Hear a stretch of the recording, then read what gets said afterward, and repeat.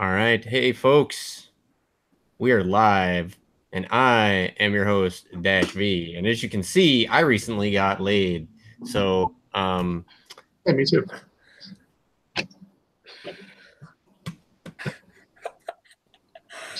Not me though. I'm too young for that. all right. You want to introduce yourself? For me? Yeah. Yeah. I'm Crowded Attic.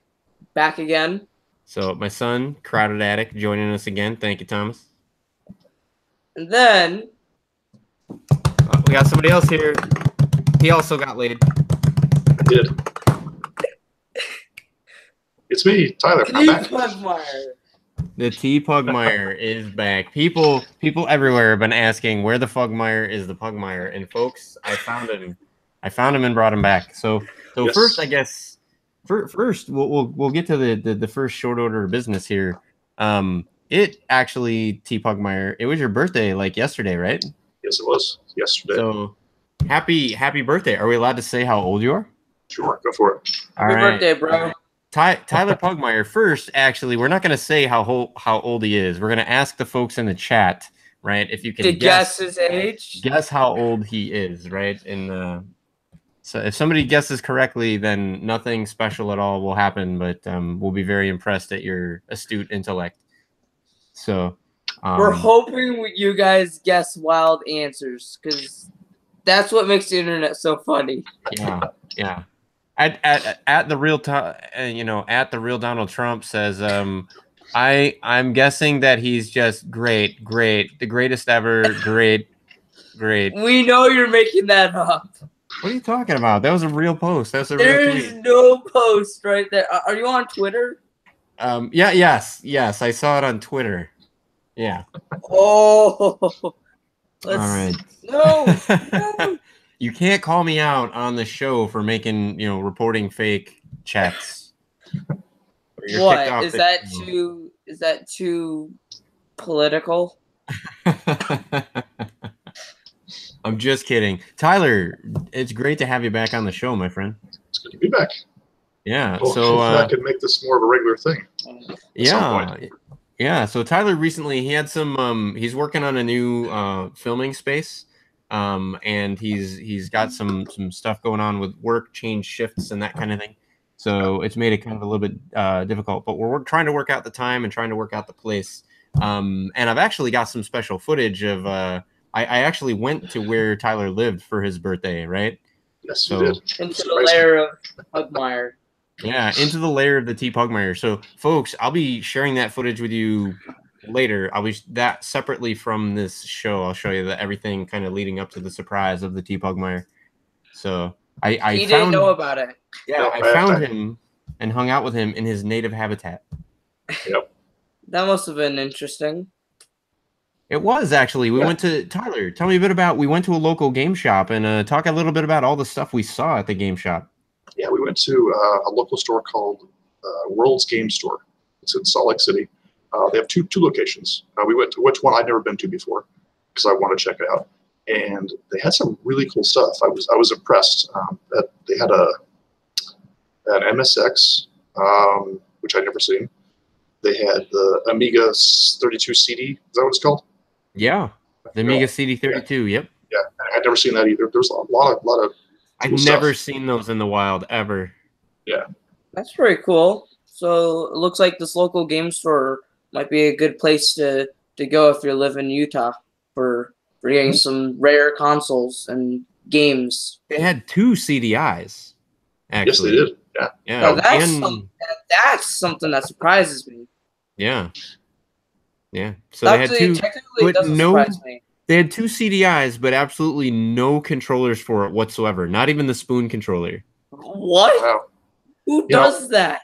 You know, I almost told them about my adapters, and then I was like, ah, I don't want to talk to this guy anymore. the guy was okay. He was he was a little bit too friendly and definitely loud. Yeah, he had like two volumes, like high and off. That was it. Right, right. But that said, that said, he was a nice guy. He was he was Oh, yeah. definitely a friendly guy. Um, you know, talked to us quite a bit. Uh, gave us a quite a, a bit of a rundown of different things that were at the show or at the store rather. They also had a Coleco Gemini, right? Oh, nice. Yes, they did. which I didn't even know existed, honestly, before uh, before going to that show. So recently, um, so yeah, That, that shop, you mean? what's that? You said show, you meant shop. I meant shop, yeah. So Tyler also managed to. Anybody that's been watching the show, I guess we'll kind of lean into pickups a bit. Um, anybody that's been watching the show knows that I've been trying like heck to get my hands on one of these, like basically forever, and it's been impossible because here in the Bay Area they sell out instantly and then reappear magically on Craigslist at five times the price. So Scalpers. it's out of control out here. Isn't so- it out of control everywhere? Almost. It is. It is pretty much. So so Tyler, after picking me up, um, it's it's kind of ironic. So Tyler picks me up at the airport as a surprise for his birthday, and um, he ends up taking me to a Target where I was able to score one of these. How? So they had forty of them in stock. 40 of them in stock. Like, And that was What? in the afternoon too. what? That- yes, Yeah, that that was later in the day. So this this wow, is how there, might, there must not be many gamers in Utah. there is, but they. I think they have fewer stores. Already had it? I think they have fewer stores, right? Hmm. So the stores that they have get probably the areas get similar amounts of in, in uh, inventory, but um, but they probably have to split it across fewer stores. So each store ends up getting more effectively in their inventory versus you know there's like 20 WalMarts just in San Jose. So Yeah, we have a lot of Walmarts too. Well, that was an awesome find. I'll definitely say that. So, um, so yeah, I, I thought it was an awesome find uh, as well. I was technically already over budget for this paycheck, um, but my wife allowed um, allowed me to to kind of make the. I made the pickup first and then told her, and she didn't require me to take it back. So that's how that's how that worked out. So what's nice is this is actually like a full legit U.S. territory one, um, as opposed to the one that I thought I did a pretty good job finding the Super Nintendo Mini uh online. Am i holding it upside down? No i was right side up before. Now i'm upside down. There we go. Oh, there we go. there we go. So Uh, isn't that isn't that in your um the room with the pinball machine? it, it was. I took it out. Um so i i found this on ebay for only five dollars more than the retail price which i thought was a good deal. Um ordered it got it in and then i discovered um somewhere here on the back um, I don't know if you can see right there, but there's a little disclaimer that says that this particular um, this particular kit does not come with a wall adapter. Oh, so it's the European one, or So literally, I just have a USB cable, and I hope it's still safe to plug in and use with US USB stuff. it should be. So, but that was kind of a that was kind of a bummer once I got it. That I was like, what the hell? So Maybe that's why it was five dollars above the retail price because the guy probably bought it, realized oh it doesn't have an adapter cord, and he decided to sell it. yeah, well, I, I figured for um, you know, for only five dollars more than retail, that basically covered shipping. Yeah, so that, that's, I was that's like, a pretty good deal. okay, fine. Um, I also picked up um, Axiom Verge, the Multiverse Edition for the Nintendo Switch. So I've heard great things about this. I heard this is kind of like a Metroid slash, you know, um, Mega Man slash Castlevania type game. Yeah, basically. Yeah, have not played it at all, but really looking forward to it. So, um, also I, I couldn't believe that they had the the, the multiverse edition. This was at at um, Best Buy. Uh, I think it was something that they'd had on display previously, and then decided they needed to sell it because it was the only one that they had there. And I've never seen this out in the wild here in uh, San Jose. So, um, so that was neat. We we also um, we went to our own local place. We were down in Santa Cruz, and we went to a place called Level Up uh, Video Games. It was a great video game store. I'll just say that. Had It was an excellent video game store. Now they didn't have the consoles, uh, and they definitely didn't have the the variety of the the um of things that we saw at the game store that we went to in Salt Lake. But I do they were say, still pretty good. They had they had quite a few um they had quite a few um titles for Xbox 360, the original Xbox, PlayStation 2, PlayStation 1, and all these uh, and all the other platforms that came before the ones we now know today, uh, which are Xbox One, PlayStation 4, and Nintendo Yeah. Switch. They actually make custom So- Game Boy and Game Boy Advances. They buy all the different colored pieces, parts, and different uh, cases and buttons and everything, and they will custom build uh, Game Boys uh, to your specification from those pieces parts. Um, and the prices were all really, really reasonable. So while I was there, I picked up a, uh, I picked up an extra. I only had one, so I picked up a second uh, Mad Catz gun for my original Xbox. Um, this is really good because it works on um, CRT, HD, as well as CRT uh, standard def TVs. Some light guns only work with the old old CRTs. This works with all the different CRTs. So basically, it's only LCD TVs that this doesn't work with. Um, so that's a that's a good one. Um, and I think this was uh, yeah, you can see the price there. This was six bucks, six ninety five Wow. which was really really good uh, price for that. So if you want to play House of the Dead or things like that, or some of the MAME gun games, you can you can use that with those. Um, also in the way of controllers, and these were uh, twelve ninety five a piece. Um, I found these really cool controllers for the PlayStation One and Two. Nice. So you can so you can play it like you're playing a Nintendo Entertainment System Absolutely, with more buttons, of course. Yeah, it's got uh, it's got analog sticks down there at the bottom, and then it's got your buttons here at the top. It's got two kind of uh, R1 and R2. That's like a split button design. You can probably see there. Yeah, So I that'd be a little bit difficult to wield, but I mean, so Who was why that buy one made by? What's that? So who are they made by? Mad Catz, actually. Yes, okay. Yeah. So and why buy one when you can buy two for twice the price? So because it'll be two times more expensive. I mean, all of these, like usually when you go into a store and stuff and you find things like these, like the the the controllers are all like janky and you feel like dirty just holding them and you want to take them home and instantly clean them, or, and they're scuffed up and everything. These are all, I mean, they look They clean, darn like, good. They, they even give it their own packaging, which is really cool. The yeah, entire the shop, has some nice branding there. Hmm. yeah, the entire shop. Like, there's a whole museum bit in the shop with like different consoles, different games, and different collectibles. There's another. There's another room where they, they had a mini room where they had all these different consoles and chairs and you could like put any game you wanted in there to test it out or or you could rent out that area and just just start playing away at those video games just for fun you could Yeah, have like birthday party events there Yeah. And- So here's uh they give out stickers and stuff all nicely themed if you want to show your uh if you want to Oh, show your level of love. and what's um, cool is they also do mail orders Yeah. even they- to other states They did have a decent selection as well. I was finally able to find a copy of something in my VG Collect wish list, which was Defenders of Oasis, which is one of the very few, possibly the only um, JRPG for the Sega Game Gear. Um, so, and if somebody else knows me to be not correct on that, um, definitely drop down in the chat, um, either live or in the doodly doo on YouTube. Let me know because as I you know Googled and looked and everything, trying to find a Game Gear JRPG, this was this was the only thing I found. This is the only thing that came up.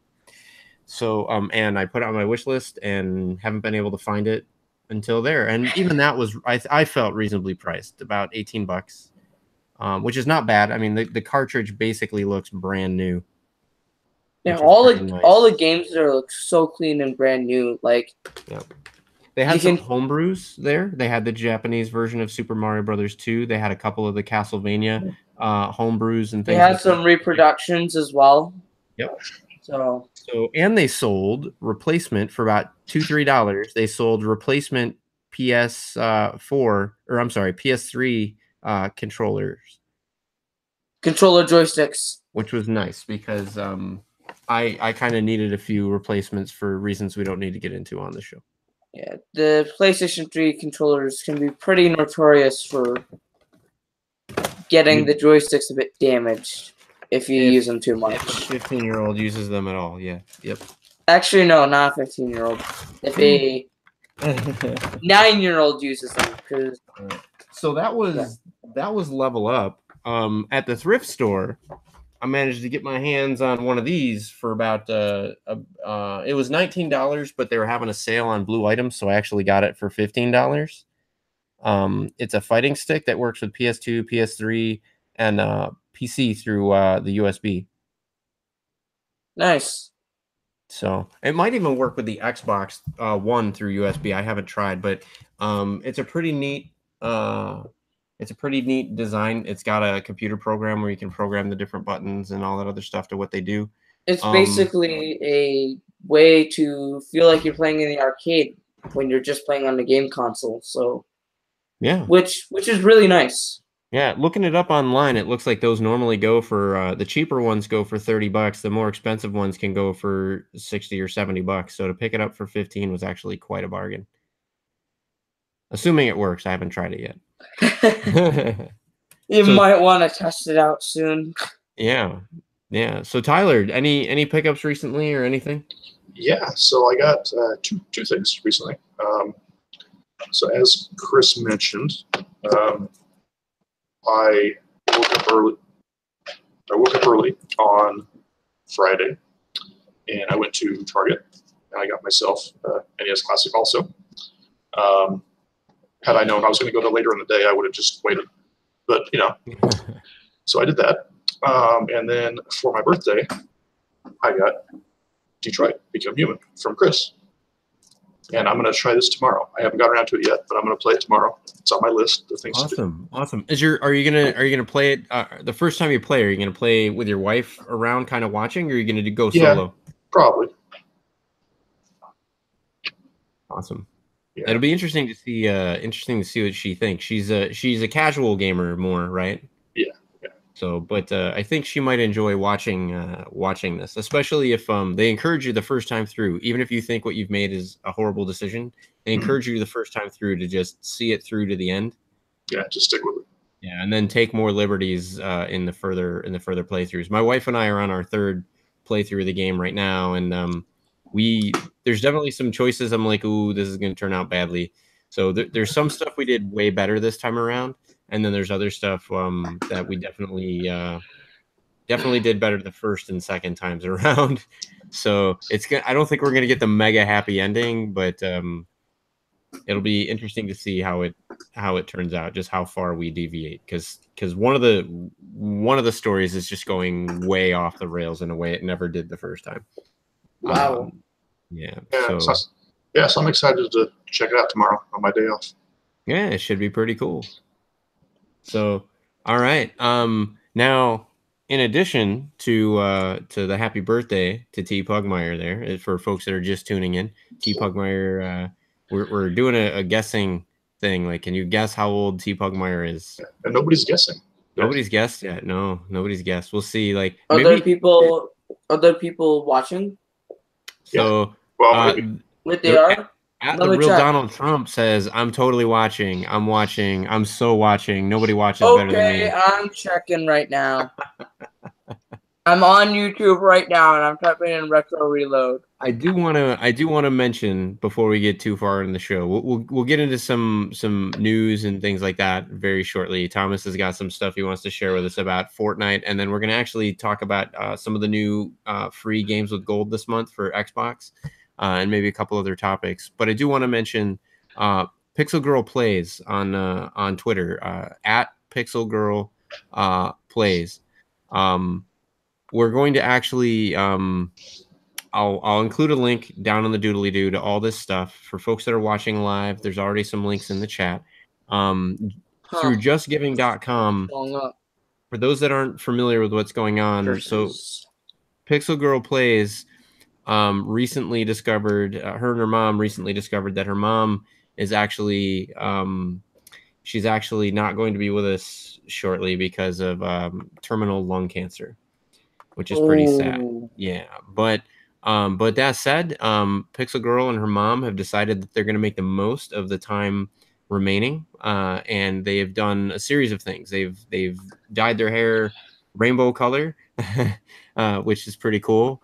Um, but then they've also uh, they've also launched um, a a uh, a fundraising effort, not for themselves, interestingly enough, but for a a organization called Julia's House, uh, which I've also included a link to in the chat, and I'll include links in the description of this video when we're done, um, so you can find out what it's about. But Julia's House, basically, in a nutshell, Um, they provide um, emotional support and other forms of support for families uh, with which actually have life limited children. So so kind of the opposite scenario of what what um, uh, Pixel Girl and her mom find her find themselves into. Um, you know the uh, there's some families where the reality is the parents are going to outlive the children, and that can be a pretty tough thing to come to terms with and to deal with. And so this organization, Julia's House, um, kind of provides like a, a support a support system and a support program to kind of help out those folks to make the most of their of their time and to uh, to have the strength that they need to kind of move on um, after you know after things kind of happen. So I thought it was really cool that they're choosing to to um, you know support uh, a charity um, that feel that they feel passionate about. Um, and to, to to kind of spend their their remaining moments doing that, building up memories. So she's been sharing that on uh, on Twitter, and you might notice that we've been sharing and we retweeting those posts. She's also got some live streams that she's doing. There's been one or two giveaways for those live streams, uh, just kind of trying to drive awareness uh, for it. And if I can see how much she's raised uh, so far, so so far, um, she's trying to raise a thousand pounds um, and so far, she's raised 530 pounds. So um, they're about halfway uh, to their, uh, you know, halfway to their goal. Um, so I would encourage you if you've got a few bucks, it doesn't have to be a million dollars. Um, you know, if you've got a few bucks, consider consider contributing. Uh, a week or two ago, I actually skipped my pickups for that week, and instead of getting pickups, I contributed so I'm not saying that to humble brag, but I'm just saying like if you think, oh, I don't have the money, I can't help. Um, it is a good cause. You might want to think about if you went a week without pickups or two weeks without pickups, could you maybe scrape up 10 bucks or 20 bucks? Um, you know, I, I certainly think that uh, you could make a big difference in somebody's life by doing that. So um, maybe consider, um, you know, contributing to that. So we'll switch gears completely. Um, Thomas, I believe uh, you've got some details about some of the Fortnite updates that have come up, right? Yeah. So I haven't been able to play it. However, my best friend Connor, I'm going to give him credit. I don't know if he's watching. Tomorrow I'll call him up and tell him to watch it, especially at this part. Because yeah, skip everything else. Skip my dad rambling. skip skip to minute, you know, 23 or whatever the heck, wherever we are. Well, yeah, you can. You don't have to skip or anything. But um, anyway, I'm giving Connor all the credit for this. If it weren't for the fact that I faced on him yesterday, I wouldn't have this news. Anyway, before I start rambling on about nonsense, um, so some of you guys may have seen on YouTube people messing around on uh, this new mode that they added for sandbox called sandbox mode or playground mode. It's basically a sandbox for Fortnite Battle Royale to something I've been really excited for. However, according to my friend Connor, when he he he I I think he played it, or or maybe something else happened. I don't know. Um, he, but um, I'm pretty sure he played it, but um, within a little within a few hours of them releasing it, they had to pull it down because there weren't enough servers for everybody. Like the the way playground wor- uh, playground mode works is you would you could have up to four people join the game and then you can like do whatever you want. So you can get like maximum resources in seconds after destroying stuff. You can get like shopping carts and just build ramps and roller coasters and stuff like that. You can you can kill people repeatedly if that's your thing, or a new idea for those of you who haven't thought about doing so, it. it so then back. is this is this a mechanism for folks to actually learn the game without the the threat of like just getting dead and having to keep joining games yeah. Yeah, that's that's actually one of the reasons. That's actually I, I think that's, I think that maybe one of the reasons they have it. But I mean, I don't yeah, know. There is no tutorial for for yeah. Fortnite. So one of the things that's very difficult for me is like Tyler, you don't listen the- to me. If you were to listen to me when I first say it, you would not be dying repeatedly. fir- first first of all, first of all, every time I listen to you and I'm stop muting someone you. to open the menu, I end up dead. Right? When I'm just walking around saying I don't give a shit about building stuff, I'm just gonna like hide and shoot people when I see them. I do fine. But as soon as he's like, Dad, go around that corner and like open up the menu and do this thing, boom, dead. Like Because earlier you'd not listen to me. no, like I listen to you, I'm dead. No, it- Anyhow, It's funny because I think uh, you and I were talking about this this past weekend about Fortnite and the, the fact that there's no tutorial and you sort of log in and die because I don't know how to play it either. Right. So it's nice that they're adding something like that. Yeah, did now now Tyler, you've been enjoying the Switch lately. Did you did you grab Fortnite for the Switch? I did not yet. You should definitely check it out. One of the things I was impressed with in the, the handful of times that I played Fortnite on the Switch, the Mhm. frame rate is really good. The graphics, kind of the cell shaded 3D graphics that they go for, really work well on the Switch. And the other thing is that um, Microsoft and Sony have implemented crossplay in a really smart way. If you set up an Epic Sony Games didn't account, do anything with crossplay. yeah, it, it uh, but on Sony is pretty stupid about some things. yeah, they've got their reasons. I, am not saying that I necessarily like it or agree with it, but uh, one of the things that you can do with the the uh, Switch and the Xbox version is you can link it to your Epic Games account, Mhm. And you can carry over your progress and that kind of stuff from one platform to another, which is really awesome. Actually, But really you good. can't on the PS4 because if you if you've created an account on the PS4, Yeah. you can't because I, I a lot of people run into that and that that's what I've been holding off Yeah, waiting Yeah, for so them to fix that. I don't think that they're going to fix that. Honestly, I think that's by design.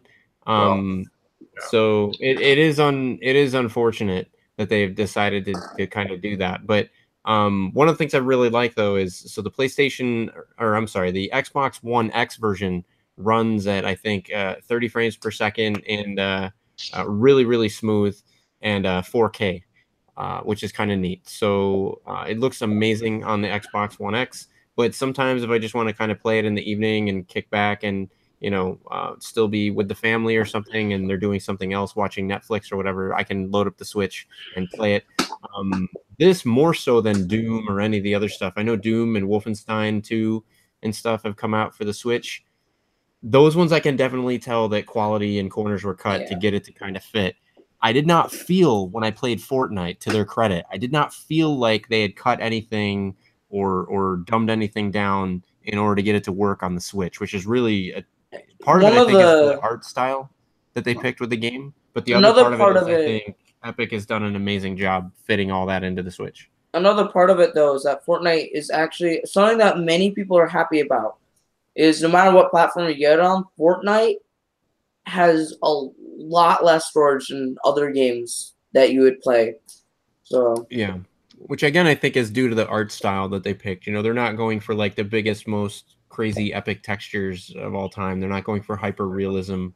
Um, Which, I mean- for fast, frenetic gameplay, and they they excel in that. The only challenge is, to your point, Tyler, with no tutorial, me, old man me, it's like I know how to shoot people and I know how to like hide, but like I don't know how to use this build system. And every time I try, I get shot in the face like within two seconds of opening the menu, so I don't even bother opening the menu anymore. So some other things they can be happy about, which they haven't they haven't been put down to be edited, unlike playground mode, which it should come back. I hope it's a permanent move because it would really help people out. But another thing that people should be happy about is they added um this really good gun. Like my my friends my friend really likes it. They're the double pistols. They come in uh, legendary and an epic and I don't know much about them since I haven't really played with them. Yeah. But double pistols, my friend showed me a texted me a video of him doing a he was on a bounce pad in a fort that he and a friend were building. He jumps onto a bounce pad and he no scopes some guy and kills him using the double pistol.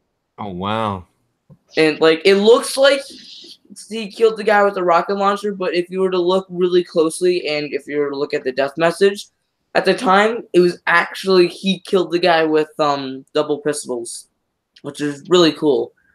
Um another thing that's also pretty cool about it is um how they've managed to they a lot a lot of people, especially me, have been getting really mad about this, and I just I kind of think there's sometimes where it just gets turns to be like super bull crap, and other times where it's like, seriously, why isn't this removed? But um, pump shotguns, most powerful shotgun in the game. They used you used to be able to one shot people if you hit them in the head, which, like, if they're at 100 health or 200 shields, that would suck because I t- I'm telling you guys right now, I've had more games than I can count where I'm with my friend Connor. And I get this really awesome thing like a legendary scar or like a legendary bolt action sniper, which I never really am able to use anyway since I don't find myself with sniper events. But anyway, I was pretty good at sniping the last couple games that I played. I've I did use the good. hunting rifle. The hunting rifles although some people do say it's like a deagle with drop and they say it's bad, it's actually I have no idea what the hell that even means, but go ahead. Yeah. Snipers have bullet drop. A deagle, the deagle, a desert eagle. Deagle, deagle, deagle, deagle. That's what I tell Connor every time he from, says uh, that. From Gremlins, right? That's the only deagle Yeah. I know. Deagle, deagle, deagle, deagle. Yeah, it's uh, deagle stands for desert eagle. Oh, It's- okay, okay. But um, honestly, the hunting rifle is pretty decent. It's a decent weapon to get. Okay. So, anyhow, Yeah, I, I do have to say though, in in Epic's defense, I think if somebody was to get shot in the face in real life with a shotgun, they'd pretty much be one hit killed. I don't I know, know. anybody. I don't know anybody that would survive that. So, uh, yes, maybe from a gameplay perspective, maybe it sucks, but uh, I don't know anybody that could take a shot to the face and live. but I mean, it was more annoying that you'd be at 200 shields and full health, and You it shot in the face.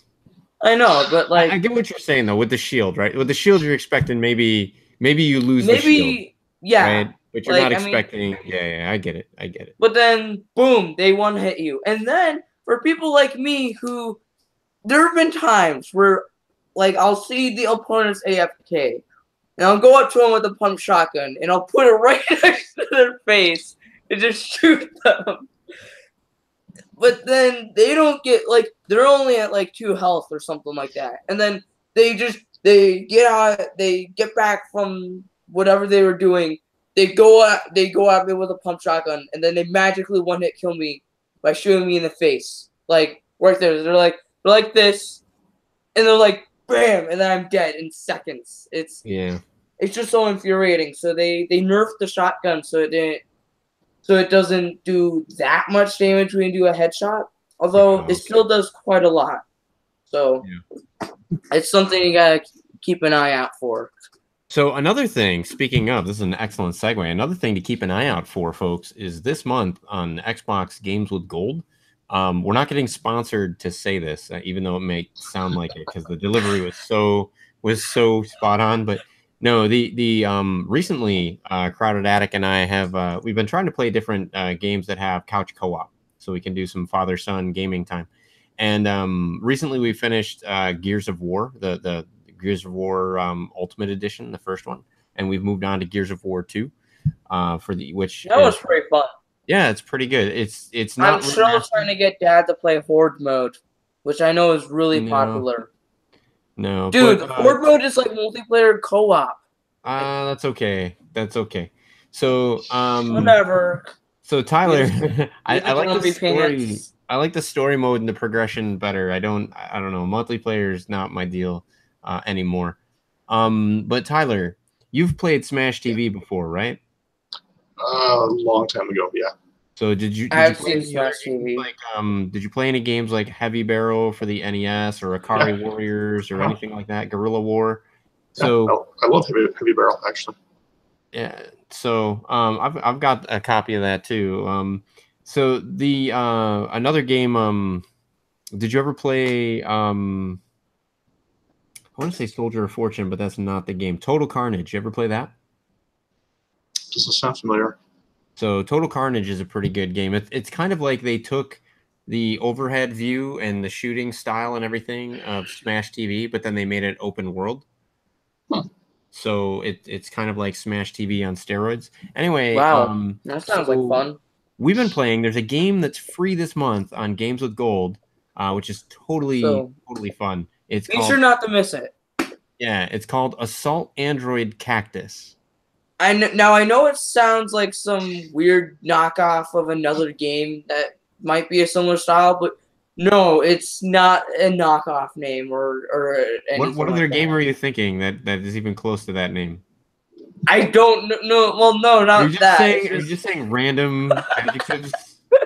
no, I like Like, they'll be like I, I've seen this in all bootleg stuff. They'll name it some ridiculous name. oh Like yeah, that. yeah, yeah, yeah. It's not a bootleg and they'll add some ridiculous stuff, but it's not a bootleg. So Assault Android Cactus. Cactus is the name of you play this this little android robot that's a police officer, like a space police officer. And um you end up uh landing on this this cruiser ship that's like a civilian ship and for whatever reason it's attack the cruiser ship is attacking uh people and everything. So you land your your little ship there only to find out that all of the machines and androids that are on the ship uh, supposing to like provide service to the people, like the gardening robot and things like that. They've all gone crazy and they're basically assaulting assaulting the people on the ship. And so your And little your android cactus is her name. Um, you have to basically go through all these levels and missions to shut down all these rogue robots and reclaim the ship. And so, uh, but the the style is an overhead uh, style, very much in the Smash TV uh, Yeah. kind of uh, kind of um, uh, style. It's to be clear, if you look at the screenshots, the screenshots the game doesn't look like much, and if you look at the cutscenes, the animations for the cutscenes and the graphics are really really basic. Um, but what is I mean, really was awesome it like an that- Xbox 360 title? no, it's actually it's actually a full Xbox uh, Hmm. One X enhanced title actually, which is kind of interesting. And so Was, what I was did it used to be an Xbox One Nope. title? Nope, Hmm. it just has very basic, uh, very basic graphics. And how this works for the game though is the game plays at a rock solid 60 frames a second. And in like when I compare it to Smash TV, anybody that's played Smash TV knows that there's kind of like a, a, a difficulty curve that spikes like this, right? Start out the first whole uh, episode, if you will, of Smash TV. You can kind of get all the way to Mutoid Man um, without too many deaths, maybe even without a single death at all. And if you're really good, you can even beat Mutoid Man. But then once you get into the second episode, things get really di- ridiculously difficult really quick, and the, just the amount of enemies that you get can completely overwhelm you. If you if you're not constantly thinking about where you're going to go and how you're going to exit or weave through this onslaught of enemies, you can easily be overrun. Assault Android Cactus has that dynamic, but they didn't just copy um, Smash TV. They do some things that uh, I haven't really seen any other games that are this kind of like arcade shooting type game do before. They have conveyor belts. They have uh, levels that literally rebuild Shift. themselves while you're playing, and they'll shift and change. Um, the sound is absolutely great. Uh, the action is intense, and so I Yeah. think you know, when you're in the throes of it, you're not really complaining about the graphics because they look more than good enough to get the job done at 60 frames a second and at 4K. You'll So- just be complaining about how much of a noob at the game you are because you keep dying, depending on who you are. Or you'll be complaining that you're too good at the game. And that you just can't die or, or lose. Now, speaking of when you die, what was kind of interesting is when you die, there's this song uh, that Now, goes on. Before you start talking about the song, we need to explain the death, the way death works. Like, if an enemy starts bashing you or shooting you repeatedly, it knocks you down. So you have to, you have to press the fire button to get back up.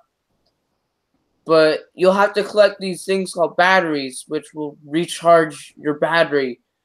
If you let the battery go low, that's it. Game over. Yeah, and when you get game over, this song plays. And the song, you can actually find it on iTunes. And you can, so if you look up Assault Android Cactus on iTunes, you can download this song for free. You can buy the whole album, but this particular song you can download for free. And it goes, I'm just a little android, and my battery's running low. It's like it's like an entire song about an android running on low battery. The song, yeah, the song goes on. I'm not I'm not saying like a little short clip that like loops. I mean the No. clip does loop, but this is like a five minute song with like Yeah. four or five distinct verses. And it is just the most adorable song. Like like when it starts singing it, you're like, okay, this is this is like so adorable. I just have to sit here and listen to the entire song. You can get pretty sad from it, maybe. Or- yeah, you're feeling all bad because you're like, oh, I have to play like the poor little android. And what was really interesting is, so I know that you can play two players. yeah. Um, I'd have to look at the game uh, description to see what the maximum number of players is. I actually don't I think know. it might be four. I don't know. It I- looks like it I could be a four-player game, um, but uh, but there's definitely at least two, and I can attest there is zero slowdown, zero, you know, zero anything. As much as I love retro games uh, like Smash TV and stuff like that, There's always the home console versions, you could tell they were really pushing it uh, with the screen tear and the glitchiness and everything. There is there is no hint of that with this. This game is liquid smooth on the Xbox One X uh, and looks great from the couch uh, when you're just in that heavy duty play. Like I said, if you're if you were to capture still frames or whatever, it's kind of sad because I think maybe a lot of people have panned the uh, the game because in in screenshots it doesn't look like all that. In fact, the first five seconds of me, the title screen looks really good, and then I fire it up and it starts playing like the intro uh, movie, I guess, the cutscene, and I go, wow, like this is really basic, you know, basic graphics and and super basic textures. Um, and they're selling this as like an Xbox One X enhanced title. And then it got into the gameplay, and I'm like, holy shit! Like I'm sweating here. Like this is intense. And uh, I didn't, like I said, at the, at the time, I didn't care. Like the graphics were definitely good enough to get the job done. And what's really cool is you, as you play the different levels and the different missions, um, you collect credits, and you can use those credits to unlock a whole bunch of uh, different Characters. gameplay modes, different characters, Yeah. um, different gallery items. So the replay Dad value on this is fairly high. Dad unlocked a character named Starch after defeating the first boss, and I played as that one. That one, it's an interesting robot, it, or android. Sorry, it um instead of having machine gun or whatever other guns they have choices from, it fires a continuous laser, which makes it rather effective at clearing the room of uh, foes. Like I, I had the strategy where I'll just I'll play as them. I'll hold the fire button. I'll just spin my character around multiple times, and I'll take Yeah. out multiple enemies at once. And then his secondary weapon are a bunch of homing missiles. Yeah, and the secondary weapon is kind of interesting. So th- that's that's another thing that they kind of add above and beyond the Smash can- formula. What's interesting about secondary weapons is um they're way more powerful than your primary weapon, but they can only be used for a tiny bit of time. So um Cactus's short term it's like Cactus's secondary weapon is um a flamethrower. I don't know any of the other characters' flamethrowers. I know start secondary weapons, sorry, not flamethrowers. Um I also know that um Starch has a um Starch also has like homing missiles. Well, it's cool. It's something that you didn't know about, Dad. is that if you right after you switch back to your gun, right after it forces you to switch back to your gun, you, if you switch back to the other weapon again, it's you can use it again. Like knew that already. after that. Oh, really? Then Yeah, why weren't you doing that? I was doing that quite a bit on the bosses. Really? Yeah, yeah. I only saw you like bang, bang, bang, bang, bang, whoosh, bang, bang, bang, bang, bang, bang, bang, bang, bang, bang, bang, bang, bang, flu, whoosh, like that. You weren't doing it like I was for like bang. All right. Well, thank you for the visual. That definitely helps. so Visuals make Pilot, my everything better. last week, switching gears. Last last week, um, we actually talked about um, we talked about a couple things, but one of the things in particular we talked about was stuff that we enjoyed from E3. And uh, since we didn't have you on the show at that time, I wanted to ask you, since we haven't you on the show now, um, did you have a chance to to catch anything from E3? And and is anything is there anything you're particularly excited about, uh, whether it's E3 or just something that you know is up and coming? Oh, hey guys, and congratulations, Tyler. Uh, Phaser Phaser Co. Co. Sweet. Yeah. Thanks, man. Hey, Phase Go. Um, as far as E3 goes, I, I only watched the uh, Nintendo presentation, which was pretty much all Smash Brothers. You know, so I mean, which looks cool. You know, um, uh, what what didn't get a whole lot of press, as far as I was aware, was the the Retron 77, um, and it's been something that's been been talked about for a while, and it's they they finally kind of revealed it at, at E3, um, the first like playable you know version of it, and it actually comes out next week or no, this Saturday. Wow, really? Yeah. Yep, Whoa. seven seven. Yep, July seventh is when it's supposed to ship. Um, so for those who don't know, it is Wow. a it's it's from um, Hyperkin, who made the other Retron systems, Yeah. and it's the first that I'm aware of, the first uh, Atari Twenty Six Hundred clone that Yeah.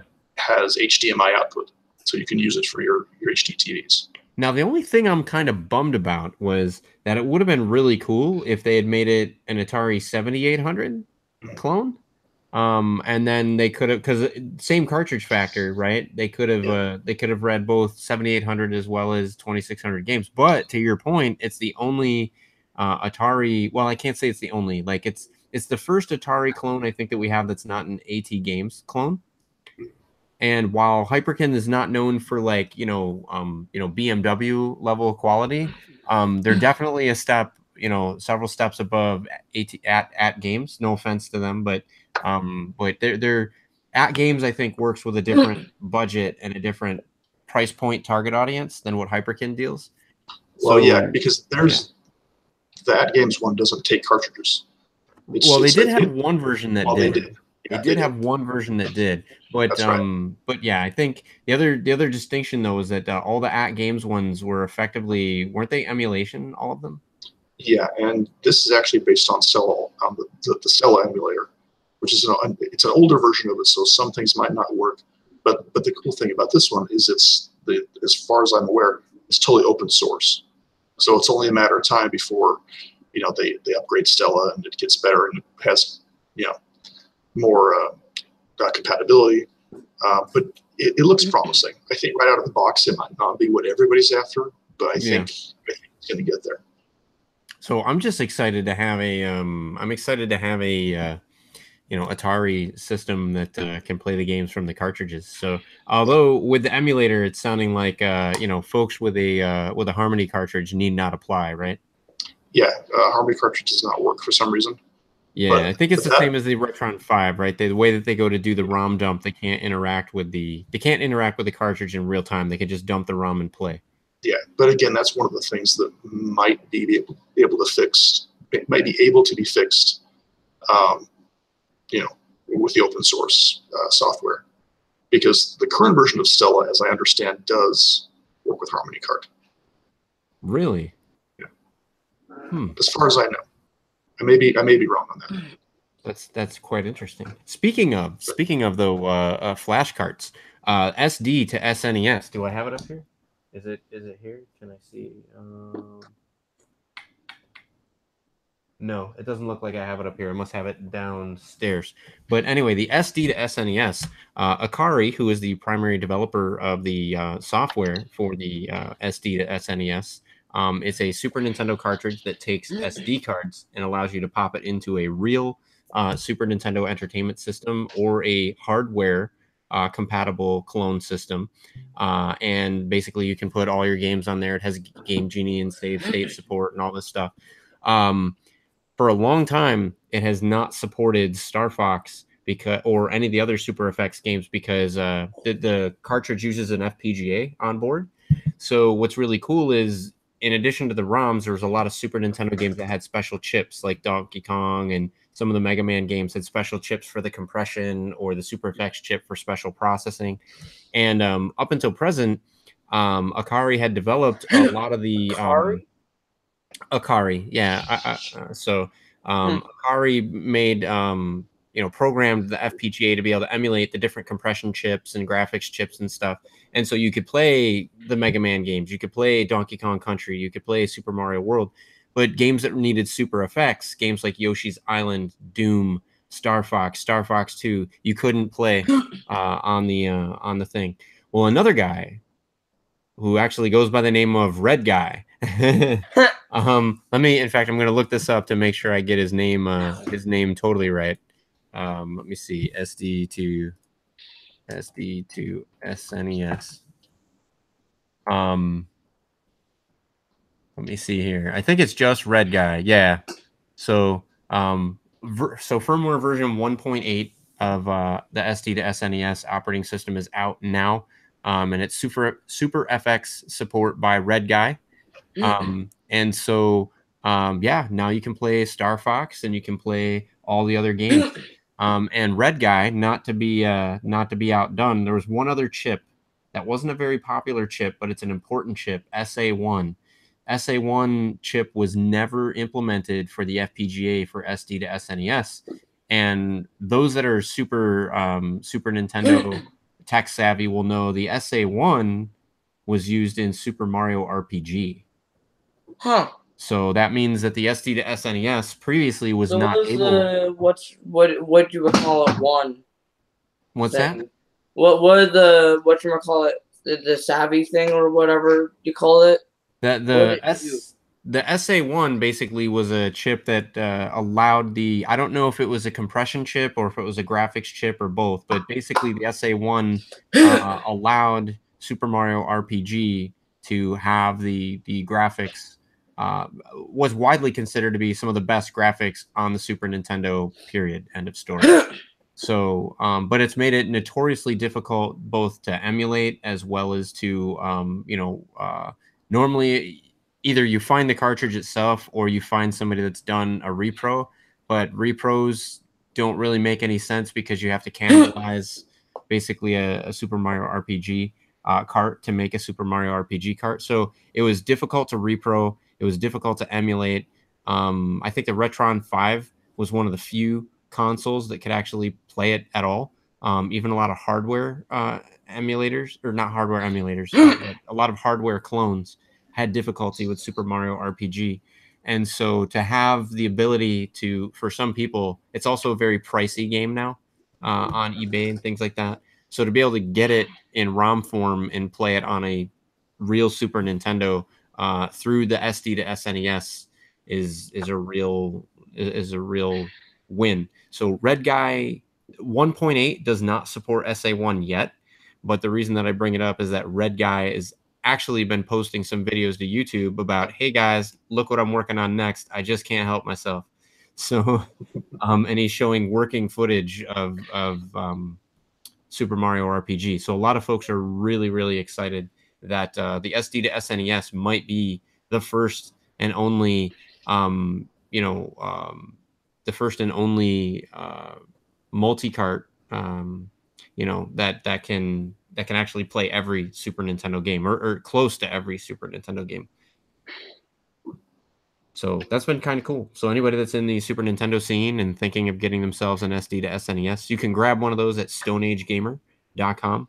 Um, again, I'm not getting paid for that plug, but that's where I got mine.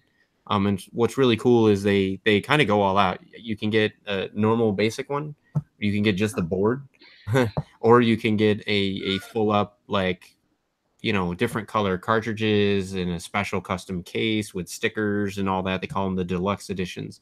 My myself, I figure you know why have the simple version for cheap when you can have the deluxe edition for crazy money.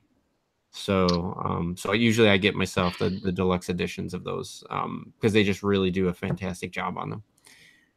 So, so some things to to kind of uh, look forward to. Thanks, Tyler, for the the Atari uh, seventy seven, right? They call it The, the Retron 77. the Retron seventy seven. Um, I hope that it's successful, mainly because I want to see if they, you know, I, I want to see if they go further with it.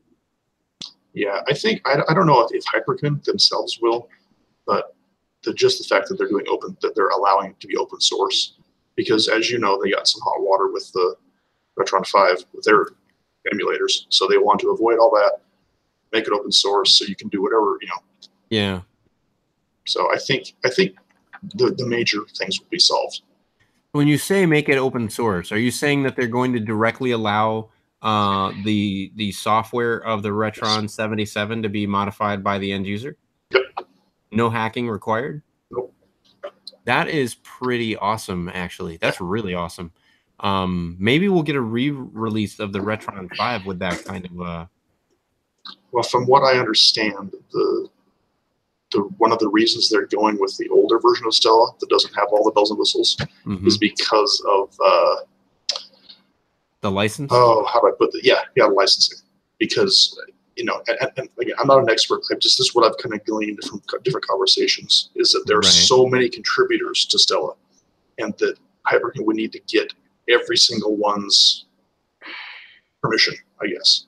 Yeah, I can see the current uh, releases are released under the L or wait, they're released under the GPL, the GNU Public License, which basically means they they they have to make sure that folks can get access to the source, that folks can modify the source and redeploy the source.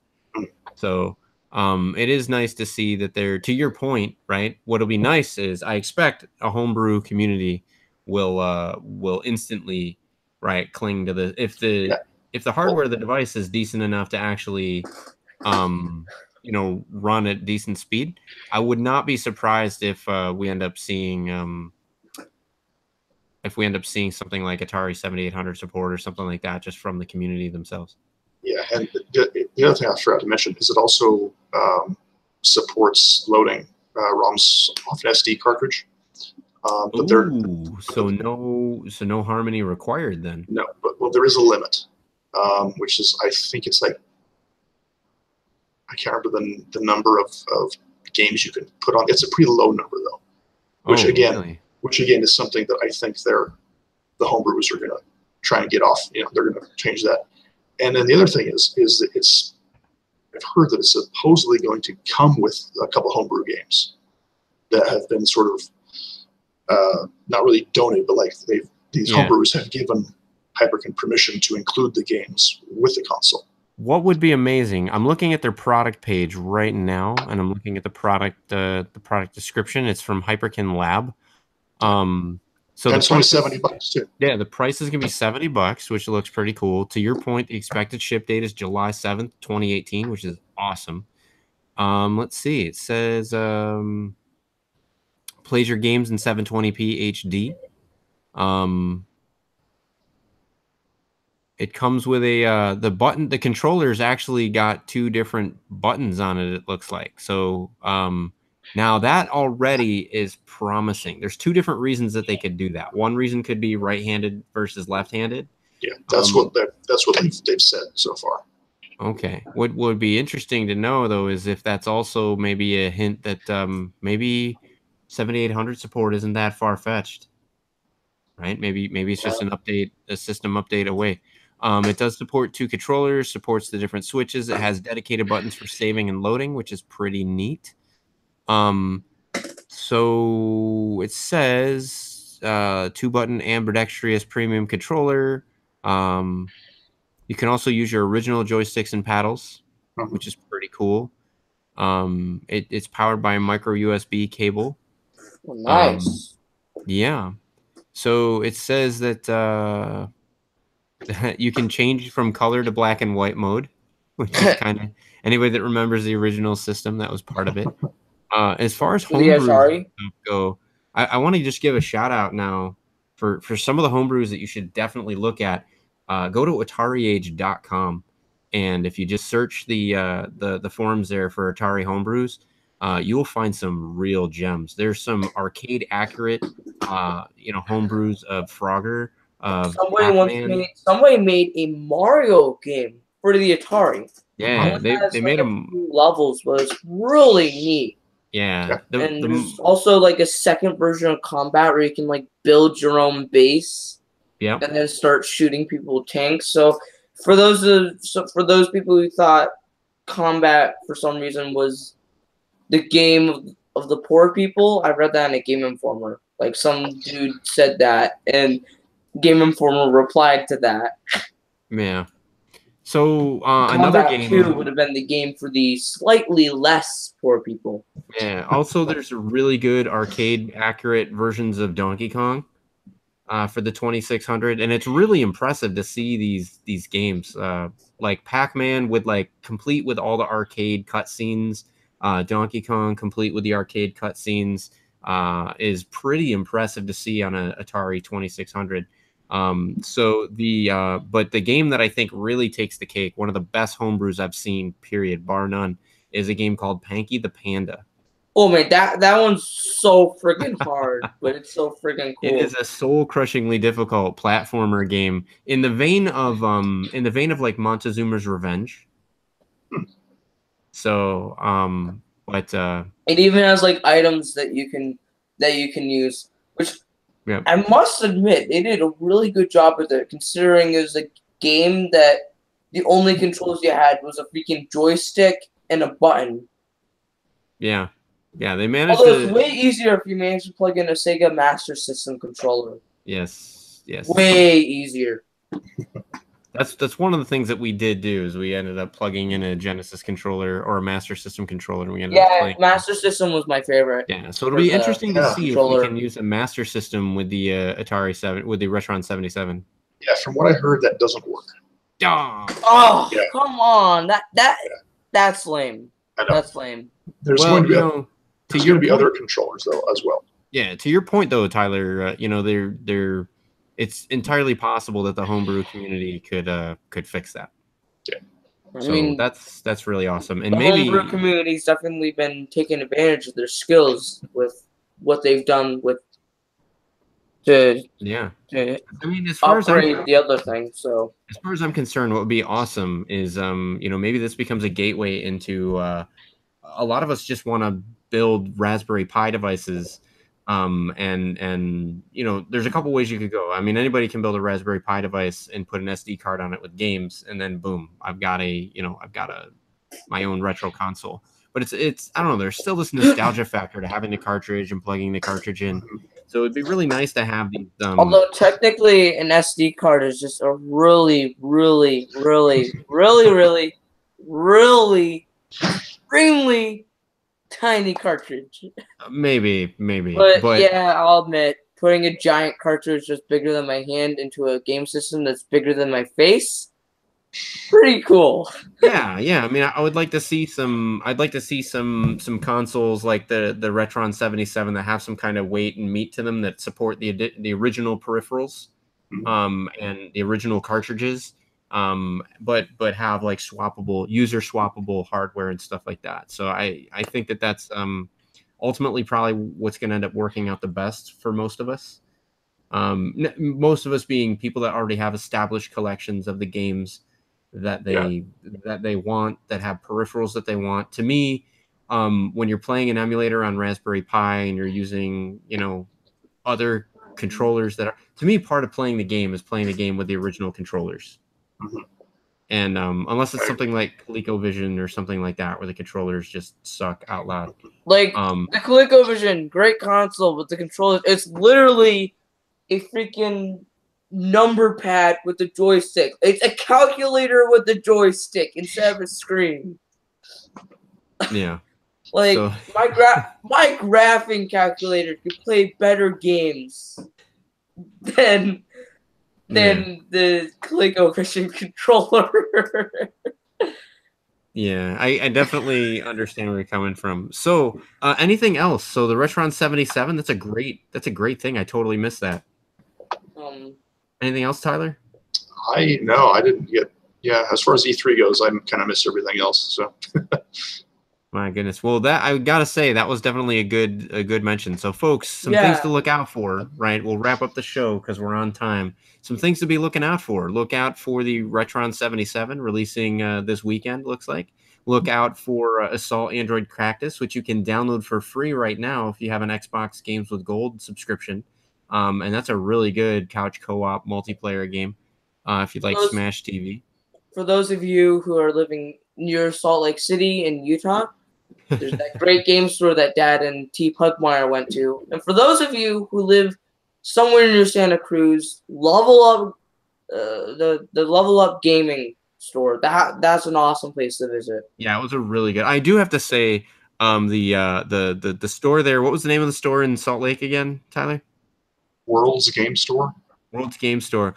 Excellent selection, amazing selection. They had tons of stuff in stock there that I saw that I've never seen in stock other places. Like they had a Sega Master System Zapper there, which was pretty Wow. awesome. Yeah, they had a couple Sega Master Why is Systems. it? Why is it? Why do I have a feeling Sega pretty much copied the Nintendo Zapper? Uh, Nintendo Nintendo actually Zapper- might have been the one to copy Sega. I'm not sure. I'd have to look Sega Master System Zapper. Yeah, but um, but I, I was gonna say though the uh, the store there in Utah that we went to, the the prices were kind of high. I thought personally, Yeah, a little bit. but the selection there was pretty amazing. So if you don't mind that you're maybe gonna pay a bit of a premium, you're gonna find stuff in that store that frankly you will not. I I could not. When I saw an Amiga CD32 with like four or five games, I like practically shit my pants. I've never. The only time I ever saw one of those was in a GamePro magazine. Did you really Yeah, crap your pants? No, I didn't really crap my pants, but I was you very, very surprised. I was very surprised. They had both. Again, you're trying to trick us to fake. They had both fake models of uh, of 3DO. They had both models of Sega CD. Um, I mean, again, you're going to pay a bit of. A, I, I, when I say premium, I, I guess you, the the prices look like the eBay buy it now prices. Well, yeah, say, say how much was that? I Yeah. mean, was it eight hundred dollars or something? The the the Amiga CD 32, I think, was like eight hundred dollars. Yeah. Yeah, it was a lot. But I mean, if it if it's the console with those games, I mean, it might actually be worth it, right? Yeah. Um, these aren't exactly things that you find everywhere. So if you just want to look in a window shop, definitely go in. You could easily kill an hour just going in and appreciating everything that's there. Um, maybe pick up a free copy of Hannah Montana. Um, I think the Hannah Montana wouldn't be free; it would be mandatory. they Like, a They'd force you to buy it because I'm pretty sure They- nobody would buy it. they did have a free games No, I table. guarantee you. Yeah, they they did. Yeah, they did have a free games table, but they weren't. I mean, I'm not going to claim that they were terrific games, and they wouldn't claim that they were terrific games either. But um, so yeah, you can definitely check out. They had lots of peripherals there. Um, they had lots of Tony Hawk uh, skateboards. Uh, they had Guitar Hero guitar cases, which I've never seen. I didn't even know that was like a thing. Wait, Tony Hawk skaters in the free pile? No, no, that wasn't in the free pile. That was for sale. But but yeah, That they had Tony Hawk. the They had actual snowboards or skateboards that you could actually um, buy and stuff like that. So um, had I not needed to fly back, I probably would have picked up the Sega Master System Zapper because it was 14 bucks. That one was actually um, that was priced pretty competitively. I looked on eBay later and saw that those zappers are going for like 20 to 30 bucks uh, on on eBay, but they had it there. Dude, what you should have done is you should have bought it, leave it Pugmire's place, and then Pugmire could have mailed it out to you, so you won't have to worry about security being all up your on your butt, saying, "Hey, you bring a gun, you can't be here." we thought about that. The only problem was I didn't have a good way to test it out. They couldn't they couldn't locate a master system power supply, so I wasn't able to verify that it worked. And with those things, you kind of want to verify that it works. That's a kick in the butt. Yeah, if you can't return. So um, I will say Level Up. That was one of the things that Level Up I think had over, um, you know, over this store that we went to. It had nowhere near the selection, right? Like I, I you'll see some stuff like they had a ColecoVision there in box, and um, you know they had like Super Nintendo and Dreamcast. Level Up, the prices were effing awesome. The prices beat eBay by like a good a good five to ten percent. The Level Up prices in Santa Cruz beat eBay. awesome. And the selection there, as long as you don't want to go farther back than say, you know, original Nintendo, they had some They've pretty even good. got some new games that just came out. So, Yeah. So, folks, there's some places to check out. There's some games uh, to check out. Uh, tune in uh, next week, and we'll be talking a bit more about uh, different games and things that we find as we're out there in the wild. So, And Tyler, don't forget, now that shotguns in Fortnite have been nerfed, you don't have to worry about getting shot in the face by some noob anymore. Yeah. so if that was something you're worried about, you don't need to worry no more. Tyler, my friend, you're fading into darkness. No, let's get. I need to get closer to the screen. Stream's your only sense of light. Tyler, we have missed you. People have been asking on Facebook, Uh, where's like I, for some reason people don't remember your name. Like everybody's like, "Where's the CDI guy?" What? Where's the CDI guy? What? Yeah. I mean, so- even when I wasn't on the show, I could still remember T. Pugmire's name. And I even folks, remember a guy named Redbeard Gamer and a guy named Mr. he does Nightcrawler. exist. Is there anything you want to say, Tyler, before we close out the show that you haven't said so far? Um, not really. Nothing coming to mind. I want to thank you for coming to my, to my birthday party. That was that was cool. Not a problem. For those playing along in the chat, nobody nobody guessed it. Tyler Yeah. turned the big row. Wait, wait, Yep. one last chance. One last chance for the guys in the chat. Ho- guess how old he is before we drop the big answer. I just gave the You just did. What? Dude! Dude! what was the answer? You're so you're so eager to like get the comment out there, You're not listening to the commentary. That's funny. My goodness, Sorry, that is I- I- I is wanted- such a Vincelet wanted- trait. I wanted to see what the internet would come up with. No, no. Said, I does it guess count if I everything- guess? so Tyler, my friend, um, 40 years. I think I've known you for three of that 40. Just about. And it's been it's been really great. Always been fun to have you on the show. We've done a lot of stuff. Does it count if Uh, I guess? interviewed a lot of folks. It doesn't count if you guess. We've interviewed a lot of folks. Um, I turned the big 4-0, I think, in September. I say I Oh. think because I have to go back and check a calendar. I believe I'm turning 40.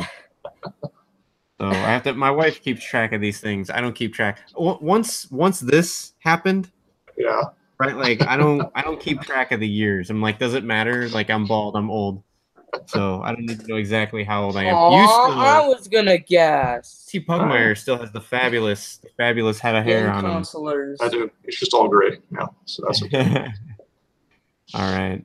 So, well, enjoy Detroit Become Human. Jeremy and I I, did. Um, maybe maybe next week or or you know in a follow up show, um, you can come on and give us some of your first uh, uh, impressions of the game. Okay, cool. So How that'd about this? cool. How about this? For those of you who really wanted to guess, guess when I up upgraded my phone. All right, folks, think about it. Drop it down in the doodly doo, and we'll discuss it next week. All right. And I'll give you the correct answer. I All right. promise. Take care, folks.